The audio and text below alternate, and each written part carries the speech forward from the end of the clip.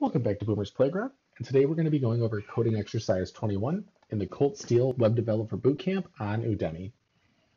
Um, this is probably another one that I see so many questions on, and I'm not sure if it's because he doesn't go over it in any of these, or uh, you know maybe he did it back here, and by the time you learn all this other stuff, it's just like found its way out of your head, and that's fine. So um, we're doing our first conditional, which is awesome. So get some practice conditionals to make your code repeatable and testable. I'm asking you to write a code inside a predefined function. Um, don't worry about what this is. We'll go over that in the course um, later on. Um, so you definitely write your code between these lines. And um, we have this parameter. We're not gonna, we'll talk about that in those, those exercises. Um, but you're gonna have access to num and if num is even, I want you to print out even. Don't do anything if it's odd. Okay. So if I'm going to get a number, how do I know if it's even or not? Well, you know, zero, two, four. Okay. Um, so I, I, was really, really good at math, so I kind of have an idea of how to do this, but I'm going to assume, um, you know, whoever I'm helping was not good at math because I know a lot of people are scared that math is required, and it's really, really not. Um, so I would just like anything else. Um, let's just do find if number is even JS. And so here, oh I like I like CSS tricks. They're really good. Okay. Um, so uh, this is something I did uh, for the first like six months at my job. And I'm going to show you this just to show what you should not do. So, all right.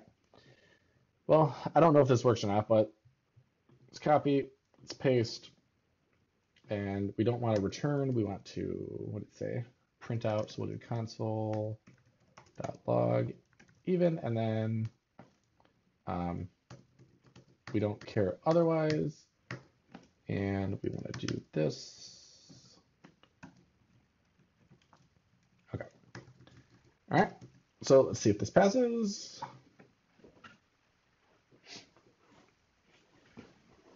All right, and it didn't.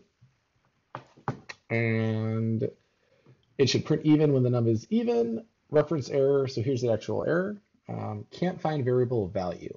Oh, value. Oh, well, that's because the variable is going to be named num. Right. And let's check this guy out.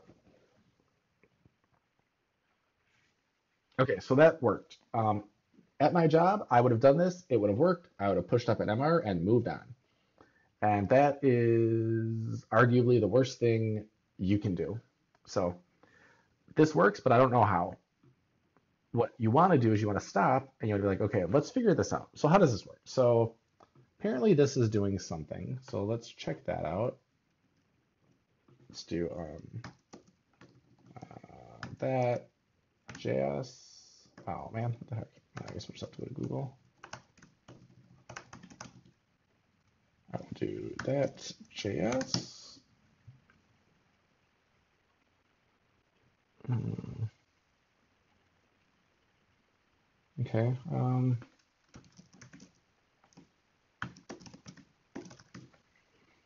let's see. Um, no, that's not the right one either.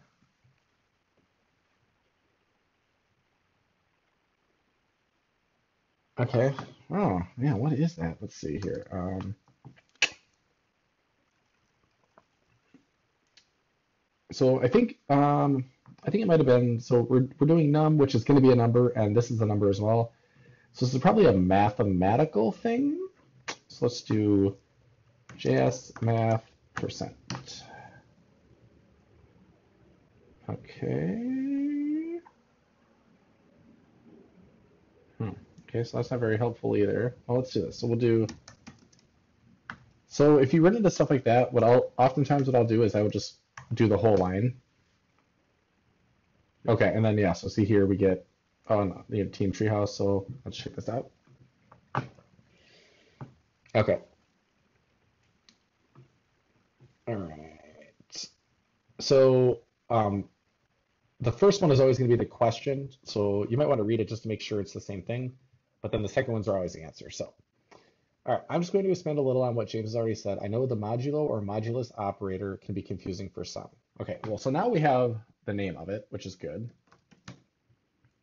And we can do JS and, oh, perfect. So right there, okay.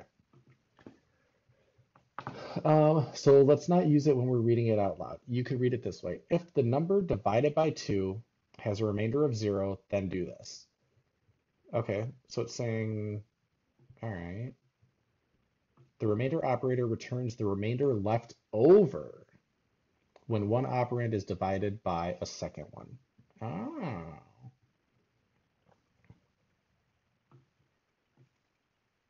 Okay, so um, I, I don't need to read this anymore, but if, if you needed to, go ahead and do it, and that's fine. Now I've got now I've got enough information. And so MDN is nice because we have this thing right here. So let's just do 100 divided by, or modulo 2. And I don't know if it's going to show us what it is or if I have to log it. Yeah, okay, so I have to log it. And see what this is. Oh, all right, we get zero. Okay, well that, that tracks. So 2 divided by 100 is 50 with a remainder of 0. And so this is giving us the remainder, right? All right, so let's do 101. Oh, cool, we get 1. Um, if we do 3, we get 2. I actually don't know if that's right or not. Um, I guess we could do 101 divided by 3. 3, 3.6. So, yeah, seems about right. Okay, cool. Okay, well now we know what this remainder does. We had, it took us a second to find, and that's okay. Um, but we know what it does now. So we're saying is if num divided by 2, so this is the remainder, if that equals 0, we want to console log even. Well, how do we, like, why does this work? Well, any even number divided by 2 will be 0. Anything that's odd will be 1. So by doing this, we're saying, okay, well, this could be any number in the world. And if it's even, dividing it by 2 will give us 0 the remainder will be zero.